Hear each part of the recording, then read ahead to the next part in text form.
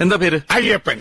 എടോ എന്റെ പേരെന്താന്ന്? ഐ സാറിന്റെ പേര് എന്നോടാണ് ചോദിക്കണത്. എടോ ഗോവിന്ദൻകുട്ടി. ഇനി മറക്കോ? ഇല്ല. എന്താ? ഇബ്രാഹിം കുട്ടി മുഹമ്മദ് കുട്ടി എന്റെ പേര്? പിന്നെ. ഏ? ഗോവിന്ദൻകുട്ടി.